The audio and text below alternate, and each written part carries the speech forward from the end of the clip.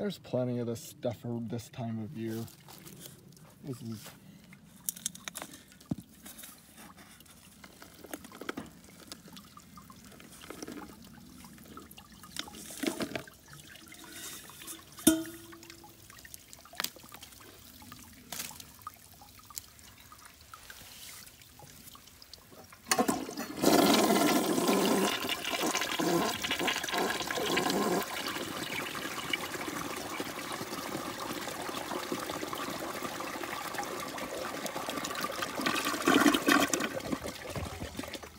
besides a massive piece of charcoal.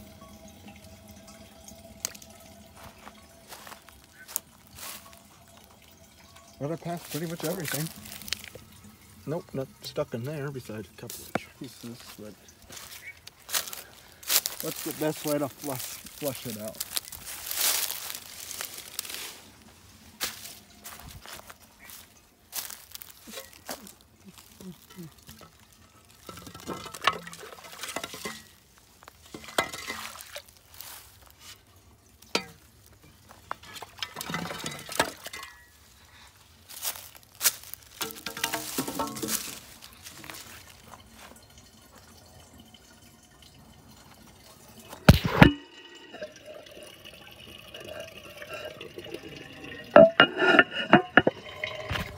Let's this thing will flush on a half a tank.